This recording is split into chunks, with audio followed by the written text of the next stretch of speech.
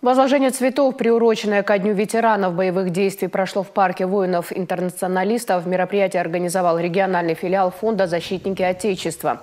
По словам руководителя организации Магомеда Рашидова, акция призвана объединить всех защитников Отечества, которые в разное время отстаивали с оружием в руках геополитические интересы Родины. Также он отметил, что необходимо активно привлекать ветеранов, участников специальной военной операции к работе по военно-патриотическому воспитанию молодежи, профилактике идеологии экстремизма и терроризма. Эта категория ветеранов боевых действий объединила представителей разных поколений.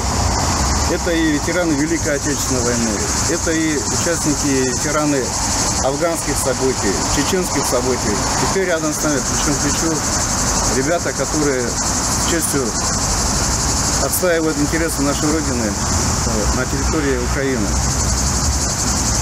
Э, хочется пожелать всем присутствующим мирного неба над головой, удачи, здоровья, благополучия.